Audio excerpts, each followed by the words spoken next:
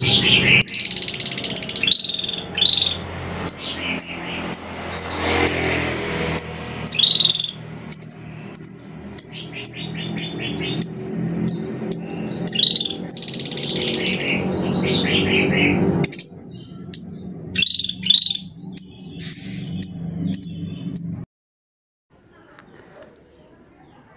Salam sahabat, salam santai, salam damai, dan salam sejahtera untuk kita semua.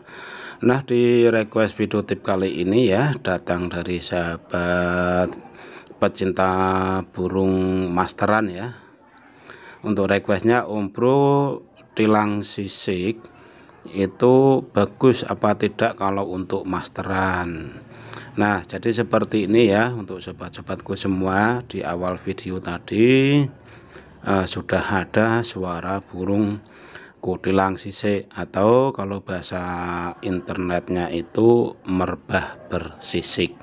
Nah jadi uh, setelah sahabat semua itu mendengarkan suara ya suaranya yang tadi di depan itu ya itu kok seperti itu? Kira-kira bisa enggak ya untuk masteran ya kalau untuk masteran kayak kacer kayak mure ya mungkin tidak bisa ya tidak bisa karena uh, suaranya itu setahu Om Bro itu kurang ya kurang kurang begitu kasar di telinga juri itu kurang begitu kasar. Uh, jadi kalau untuk merbah bersisik ini ya kalau kutilang bersisik ini mungkin lebih tepatnya untuk masteran cucak hijau tetapi sekali lagi ya untuk masteran bukan berarti semua burung itu itu bisa untuk masteran. Karena masteran itu kan mempunyai nilai atau nilai kasta atau uh, peringkat. Jadi apabila sahabat semua itu menggunakan masteran-masteran yang yang seadanya itu ya bebas-bebas saja. Ya apakah nanti bisa juara? Ya Om Bro katakan bisa apabila yang lain tidak bunyi atau hanya bersuara gelondongan terus uh, burung milik sahabat semua itu bersuara burung merbah ini ya bisa juara. Itu ya karena untuk bermain cucak hijau itu unik loh ya unik.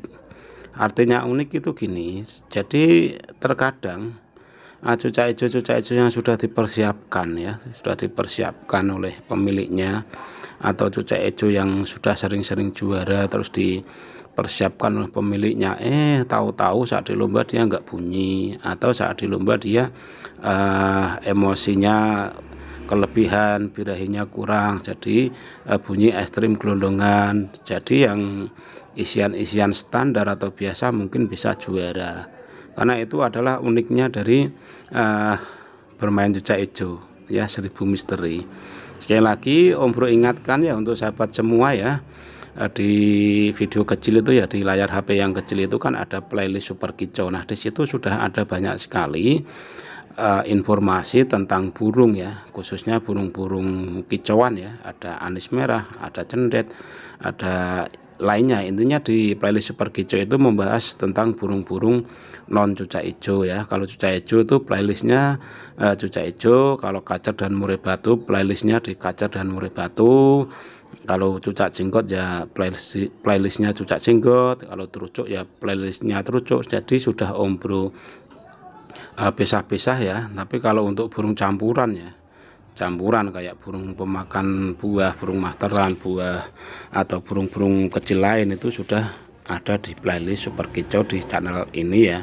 Nanti pergi ke playlist, playlist super kicau ya di channel ini ya untuk mencari-cari apabila anda membutuhkan informasi khususnya pada burung-burung yang lain. Nah kita kembali ke merbah ya merbah bersisik ini ya sebut saja burung kutilang bersisik inilah ya.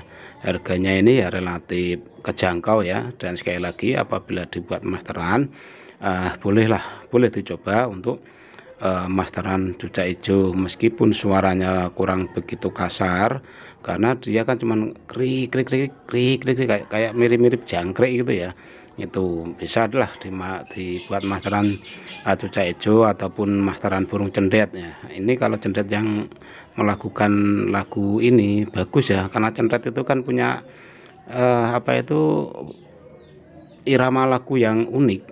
Jadi dia uh, senangnya itu menirukan burung-burung kecil atau burung-burung semacam inilah semacam merbah ini. Jadi apabila yang melakukan kok burung cendet atau cucak hijau itu nantinya hasilnya bagus.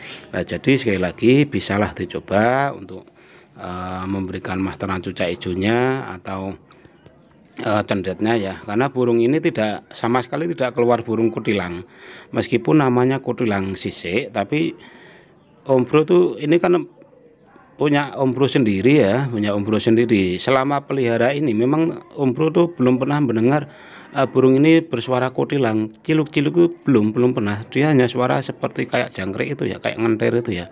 Krik krik kayak yang kayak di video yang di depan itu tadi.